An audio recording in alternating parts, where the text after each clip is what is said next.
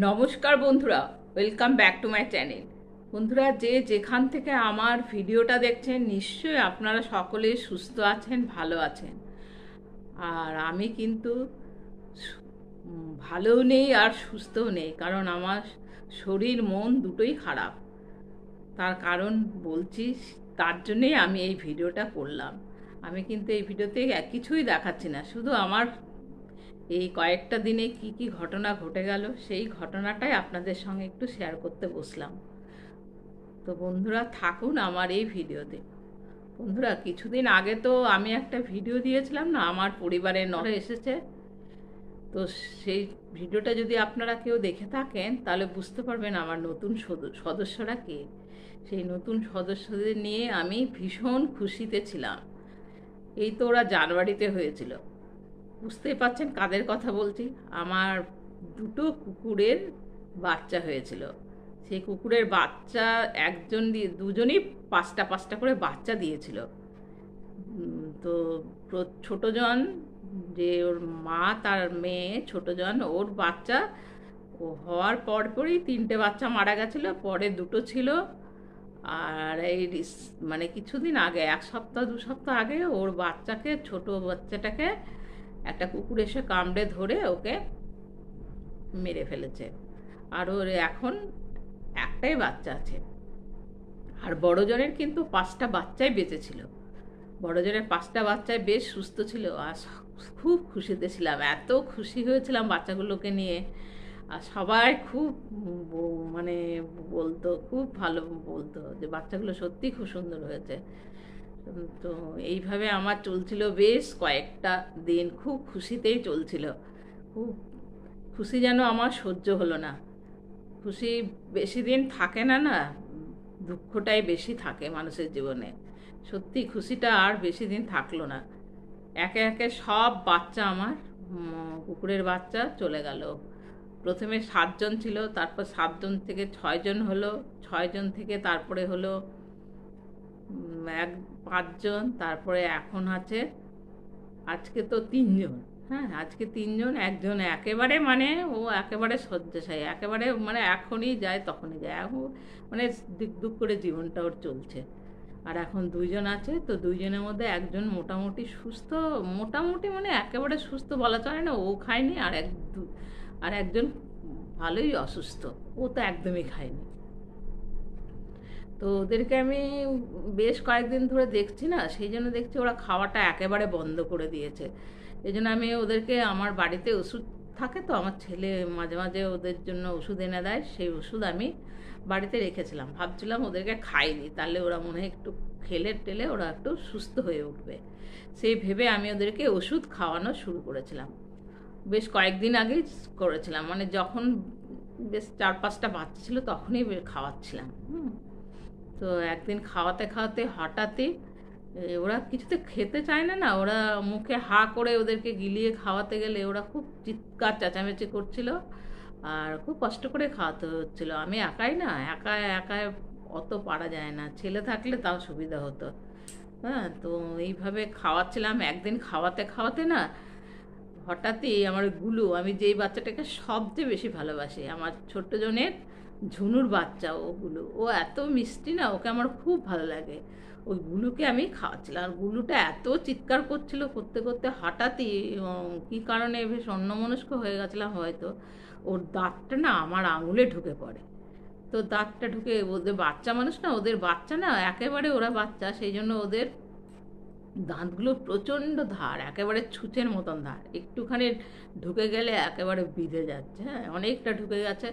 দিয়ে আমার ভীষণ রক্ত বেরোতে শুরু করল আঙুলে। তখন আমি ঘরে একা আছি। তখন ঘরে একা আছি দেখে আমি কি করব না করব ভেবে মোটামুটিভাবে আমি যে কোনো উপায়ে রাক- রক্তটাকে বন্ধ করলাম। হ্যাঁ বন্ধ করে রেখেছি। কিন্তু কাউকে আমি বলিনি। আমি আমার হাজব্যান্ডই ঘরে আছে এখন। ছেলে তো ঘরে নেই, তো যে আমি হাজব্যান্ডকে বলিনি। চেপে গেছি, ভাবছে ও কী আর হবে হ্যাঁ। এই ভেবে আমি একদিন কাটিয়ে দিলাম। কিন্তু ছেলেকে বলেছিলাম তারপরে পরের দিন আমার ভাই এসেছে আমাকে, আমার কাছে, আমার সঙ্গে দেখা করার জন্য। তো ভাই এসে, ভাইকে হঠাৎই গল্প করতে করতে ওই কথাটা বলে ফেললাম। যেই বলে ফেলা, ভাই তখন বলছে যে বা তুই এই এতটা তোর কেটে গেছে, রক্ত বেরিয়ে গেছিল, তাহলে তোর জলাতঙ্ক হয়ে যাওয়ার সম্ভাবনা তো আছেই।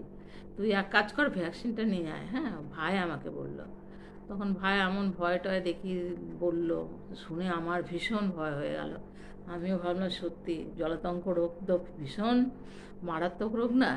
যতই ভালোবাসি না কেন ওদেরকে রোগটা তো আমাকে যদি একবার ধরে নেয়, আর ভালোবাসার কোনো মূল্য থাকবে না। তার জন্য আমি বাধ্য হয়ে বন্ধুরা আমার হাজব্যান্ডকে বলে ফেললাম। তারপরে বলে ওর সঙ্গে আমাদের এই মহকুমার হসপিটালে গিয়ে ভ্যাকসিনটা নিয়ে এলাম। কিন্তু ভ্যাকসিনটা যখন নিয়ে এলাম নিয়ে এলাম, ঠিক ছিলাম। কিন্তু পরে বিকেলবেলা, সকালের দিকে নিয়ে এসেছিলাম, পরে বিকেলবেলায় আমার হাতটা, এই যে আমার ডান হাতটা, কি ব্যথা আর কি ফুলে গেল। একেবারে হাতটা না এখন শক্ত হয়ে গেছে আর ফুলেও গেছে আর ব্যথা, খুব টনটন করে ব্যথা করছে। তো কি করব এখন? সেই নিয়ে ভীষণ মানে কষ্টে আছি। সবসময় হাত ব্যথাই করে চলেছে। কোনো কিছুতে যেন ভালো লাগছে না। সেই জন্যই বললাম, আমার শরীরটা ভীষণ খারাপ। মন তো খারাপ, ওরা চলে গেল। মাত্র এখন দুইজন বলতে গেলে আছে, তিনজন তো একেবারে যায় যায় অবস্থা। তো যায় যায় অবস্থা মানে ওর দুক দুক করে প্রাণটা চলছে, কি জানি এখনও বেঁচে আছে কিনা জানি না, বাইরে আছে। আর দুইজন আছে, ওরা এখন মোটামুটি একটু হাঁটাচলা করছে, কিন্তু কিছু খায়নি ওরা। ওরা খেতেই চাইছে না। এটাই ওদের মানে আমার সবচেয়ে খারাপ লাগে। আমি আসলে খেতে দিই না না খেলে আমার খুব মনটা খারাপ হয়ে যায়। ওরা যদি খায় টায় তখন আমার খুব খুশি হয়। তো এখন ওরা একদমই খাচ্ছে না। আর এদিকে আমার হাতে প্রচণ্ড ব্যথা। আর এদিকে আমি হাজব্যান্ডকে বললাম, এই যে আমার এত ইঞ্জেকশন নিয়ে এই ব্যথাটা হচ্ছে, কি করব? তখন ও বললাম, ওষুধের দোকানে গিয়ে তুমি জিজ্ঞাসা করবে।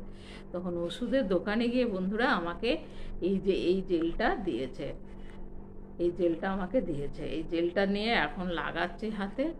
আর জেলটা নিয়ে হাতে লাগিয়েও কিছু ব্যথা কিন্তু কমেনি হ্যাঁ? ব্যথাও কমেনি আর কিছু মানে ফোলাটাও কমেনি। আর শক্ত ভাবটাও আছে। তো সেই জন্য আমি আবার একটা দোকানে গেলাম। আমাদের পাড়ারই একটা দোকানে গেলাম ওষুধের দোকানে। তো ওনার কাছে জিজ্ঞাসা করলাম, তো উনি বললেন, একটু তুমি বরফের শেক নাও। বরফ নিয়ে, প্যাকেটে করে বরফ নিয়ে, প্লাস্টিকের প্যাকেটে বরফ নিয়ে নিয়ে শেক করছি। তো এইভাবে করে করে যখন জোর ব্যথা উঠছে তখন খুব কষ্ট হচ্ছে। কিন্তু কাজ করছি যখন, তখন কাজ তো করতেই হবে না। কাজের ফাঁকে কিন্তু অতটা মনে হচ্ছে না, কিন্তু চুপচাপ যখন বসে থাকছি তখন কী যে ব্যথা হচ্ছে, কী আর বলব? এদিকে ওরা চলে গেছে বলে এত মনটা খারাপ, ওরা চলে যাচ্ছে একে একে আমার চোখের সামনে থেকে। সত্যি, ভগবান এত খুশি আমাকে দিয়েছিল কটা দিন, কিন্তু এই খুশিটা আমার জীবনে বেশিক্ষণ টিকলো না।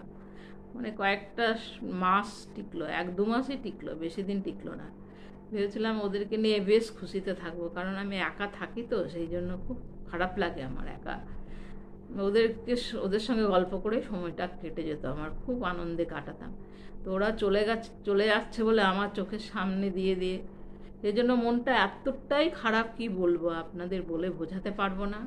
আর এদিকে আমার ব্যথায়ও, হাত ব্যথায়ও খুব কষ্ট পাচ্ছি।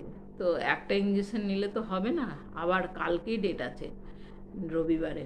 এইভাবে ভাবে এখন তিন চারটে ডেট দিয়েছে, ওই ডেটে ডেটে আমাকে এখন ওই হসপিটালে গিয়ে গিয়ে ওই ইঞ্জেকশনটা নিয়ে আসতে হবে। তো এইভাবে এখন আমার চলবে। কী জানি কীভাবে আমি কটা দিন কাটাবো এইভাবে। কী কষ্টে সেটা আপনারাই বুঝতে পারছেন কিনা জানি না, কিন্তু আমার ভীষণ কষ্ট হচ্ছে। মনে এত কষ্ট আর শরীরেও কষ্ট, এই ভেবেই আমি ভিডিওটা করলাম।